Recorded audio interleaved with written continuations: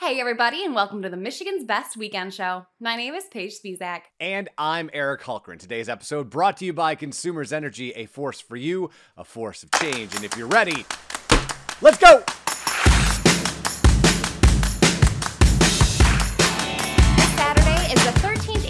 Michigan Brewers Guild UP Fall Beer Fest. That's happening at the Mattson Lower Harbor Park in Marquette from 1 to 6 p.m.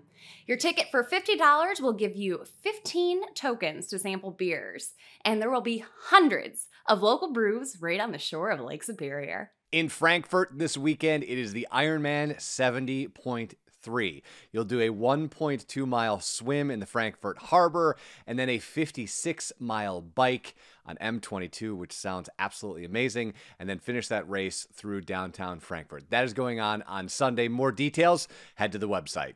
Also, this weekend from the 9th to the 11th is the 71st annual Posen Potato Festival. There'll be polka, potatoes, parades, and so much more.